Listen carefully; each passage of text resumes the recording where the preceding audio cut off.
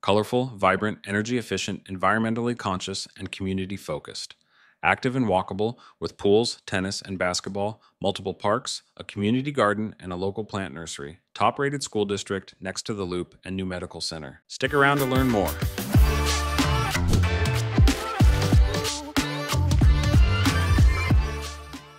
Hello and welcome, Blaine Bond, Tucson, Arizona with eXp Realty, and welcome to this episode of Living in Tucson, your Tucson real estate connection. In this episode, we're going to be taking a look at Tucson's most eco-friendly and tight-knit communities, Civano. Can't wait to show you around.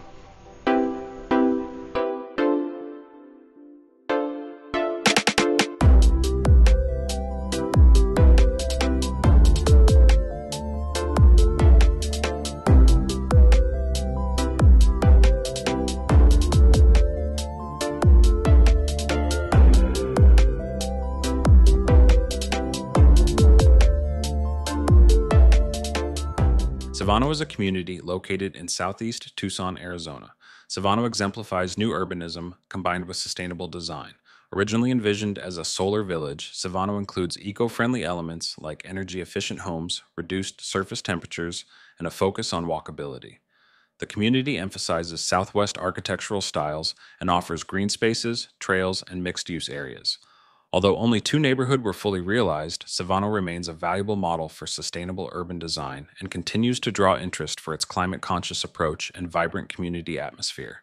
Civano is beautiful to look at, culturally sensitive, and measurably sustainable. Civano was and still is ahead of its time. Planned in 1996, Civano set a standard for what was then a radical idea, combining new urbanism and green design. Civano's origins go back to the oil crisis of the 1970s when a group of solar energy advocates promoted the creation of a solar village in Tucson. Through the early 1990s, the state of Arizona provided funding to study this aspirational idea. Oil prices went back down during this time, and the prohibitive cost of solar generated power did not. Nearly all attempts to go beyond aspirational planning were thwarted. By the mid 1990s, Tucson had become a typical southwestern sprawling city. These two images illustrate a reality that has so many implications. The city of Tucson began looking for alternative models for accommodating growth, adopting the old Tucson Solar Village project as a starting point. Figuring out how to do all this and keep the housing prices aimed at the average home buyer in Tucson was a daunting task. However, there was an acknowledgement that addressing the challenges of sprawl would mandate a broader scope than the old primary focus on solar energy. The city of Tucson sponsored nearly 60 community meetings to find what people wanted in their communities, leading to what would be the backbone of the envisioned experiment the integrated method of performance and cost tracking, the impact system. The resulting impact system's goals were as follows reduce home energy use by 50%. The use of solar energy to achieve this was strongly encouraged, if not outright mandated. Reduce residential potable water use by 60%, reduce vehicle miles traveled by 40% address housing affordability by ensuring that 10% of houses built would meet government definitions of affordability. Create jobs within the community, either by building 300 square feet of non residential building for every two houses built, or by creating one job on site for every two houses built. And to reduce construction waste and provide for recycling in the build out of the community. Circling back to the goal to have non residential buildings for every two houses. Like many visions of this new look at community living, this vision was not quite fully realized. However, there is much to be celebrated and emulated with the goals that have been achieved here in Civano. Civano has emerged as an urban design laboratory. As such, Civano is one of the most academically studied new urban projects, with impressive findings for climate mitigation and livability. The community's maturation over the last 20 years vindicates the principles of new urbanism and the canons of sustainable design, with measurable results demonstrating a notably smaller heat island effect and documented radically lower home energy bills. Civano offers lessons for new urbanist community builders that will become ever more critical as the climate shifts and energy efficiency becomes increasingly important. Part of addressing the water reduction requirement, an aggressive tread lightly on the land approach to site development was implemented. Rainfall is gathered and directed to the surrounding desert with a regenerative impact. Over 6,000 cacti, trees, and plants were salvaged and reused in Civano. The community's residences, commercial spaces, and schools also utilize rain harvesting cisterns, which help more evenly distribute water between our rainy and dry seasons here in southern Arizona. In 1999, Civano had its grand opening. Civano faced challenges such as builder changes and financial issues, yet it remained committed to its sustainability goals. Civano now rests on a 1,200 acre development consisting of four neighborhoods, a town center, an environmental technology business park, 2,700 homes, and nearly 1 million square feet of commercial and light industrial space. I mentioned earlier that Civano has four neighborhoods. We will soon look into each of those. It's important to mention that of these neighborhoods, Civano is essentially divided by two phases. While the primary focus of this video is to showcase Phase 1, it is worth mentioning that Civano Association 2 was not designed to maintain Civano's current energy standards or traditional neighborhood design. Civano's neighborhoods, or more accurately districts, are the Center District, General District, the Edge District, and the Orchard District. Let's zoom in and take a quick look around one of Civano's commercial zones, the Civano Nursery. The Civano Nursery is a family owned and operated plant nursery in Tucson that opened its doors to its garden center in 1999, and its plant nursery never stopped growing since then. Civano Nursery branded plants can now be found in the best garden centers in Arizona, California, New Mexico, Nevada, and Texas.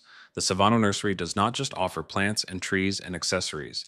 It helps you with a wide array of services, whether it's taking care of your children when you are at the nursery, or delivering your plants and planting them, or even helping you design your entire garden. The nursery offers nearly 600 different plants, trees, and cacti. What I love most about the Civano Nursery is its horticultural services. From plant identification, problem solving, and garden landscape design, their local horticulturalists are there to share their knowledge for a successful garden. Let me know in the comments if you would like to see my full video tour of the nursery. I could linger here for another hour, but let's get back to the neighborhood and run some numbers. Civano offers a wide variety of home sizes ranging from 1,140 square feet patio style and townhome style homes, up to 3,350 square feet homes with detached casitas. The patio style homes, as shown here from above, are longer homes and are not attached like a traditional patio or townhome. You can see some have a second level, with the majority being single level homes. You may or may not have noticed, but part of the Civano master plan was to keep the majority of the streets walkable and to maintain the curb appeal of the community. The main through streets in Civano are reserved for the front of homes, with the majority of garages designed to face one another. However, the color palette used in Civano has even those streets looking quite charming. Since I mentioned Civano's walkability, let's zoom back out for a moment and step into the Google Earth Time Machine. Let's hover over the Orchard District and travel back to 2005, as it's easier to see the path system before the maturation of the trees and foliage. Access to the many parks, pools, community center, and schools is provided by Civano's extensive walking trail network, making Civano a safe, walkable community. Here we are on the eastern side of the Orchard District. You can see the egress to the walking path network, the sidewalk, and the boulevard separated walking and cycling pathway to our left. Here in the Orchard District are what was envisioned as desert country homes. Home sizes vary, with the average home sitting just over 2,000 square feet, having three to four bedrooms and two or three bathrooms. Let's strafe on along to the General and Edge District to our left. The camera I used to film the driving shots overheated, so we'll stay in flight for a moment. Looking down, you will see slightly smaller homes with a range in square feet between 12 and 2400, resting at an average of 1600 square feet. These homes have an average of three bedrooms and two baths with detached garages. Wrapping up on the districts, last but not least the Edge District. The term for the northern part of the Edge District is university homes, predominantly L shaped layouts with attached garages, ranging from around 12 to 1700 square feet with three bedrooms, two bathrooms. Now let's look at home pricing in Civano. This data was pulled from the past six months. This video was recorded in early October 2024. In the past six months, there has been a total of 16 closed homes, the smallest being an 1,172 square feet, two bedroom, two bathroom home that sold for just over $338,000, or $216 per square feet. The average home in Civano in the past six months is around three bedrooms and two and a half bathrooms at around 1,800 square feet at around $448,000 or $249 per square foot. The overall average dollar per square foot for single family homes in Tucson in August 2024 was $231.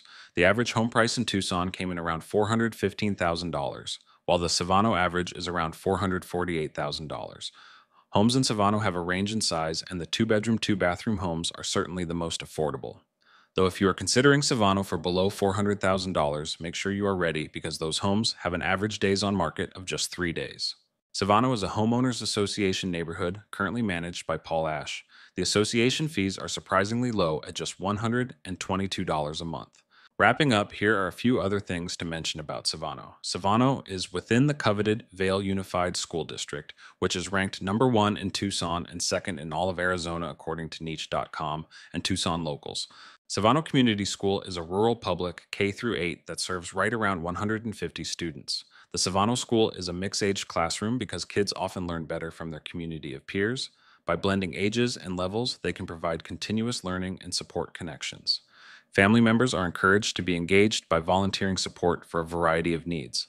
The Civano School also has community time, an opportunity for the whole school to gather at the start of each day, which is led by students and is an opportunity to share, celebrate, and build the community. Another honorable mention is that Civano is just a stone's throw away from the brand new Tucson Medical Center. The TMC offers both urgent and emergency care. Civano is located just across from Fantasy Island Mountain Bike Park, just a few miles from Fantasy Island Trailhead. And of course, Civano is situated along the eastern north south portion of the famous Tucson Loop system. I've done my best to path out the majority of the loop as seen here. The orange are official sections of the loop, the blue are connection paths, which are constructed just the same as the loop, the red are connecting roads with bike lanes, and the brown are dirt paths. Let me know in the comments if you would like me to send you the KML files that I have made and imported so far. That about wraps it up for today's video. Thank you so much for watching. If you got any value out of this, make sure to leave us an internet high five. Buying or selling a home is one of the biggest decisions you'll ever make. That's why you need a local Tucson expert real estate partner. With all the exciting reasons you have for buying a home, one of the biggest reasons is it can dramatically increase your family's wealth. So whether you're looking to purchase your first home, your next home, a second home, an investment property, or maybe you want to sell your home, choosing an experienced real estate expert to help you will make it a smooth and easy process. And choosing the right realtor can make the difference of more money in your pocket after closing. So whether you're a first-time homebuyer or a seasoned investor, or maybe just interested in knowing what your home's worth, contact Tyler Ford and team today. Call Tyler Ford and team today at 520-775-3400. That's 520-775-3400.